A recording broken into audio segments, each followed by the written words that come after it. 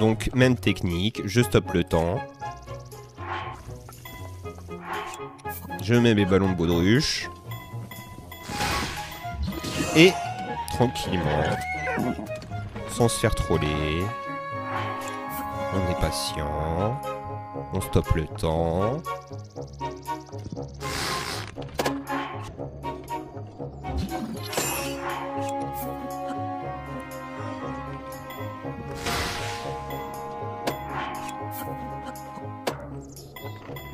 Là, j'y suis vraiment presque, je me dis. Mais là, mon cheval, je sais pas ce qu'il veut. Et on dirait qu'il veut se casser. Donc, je remonte dessus pour éviter qu'il se casse. Et je me dis, tiens, peut-être que ça va passer. Et... Non. Donc, euh, le challenge, pour le moment,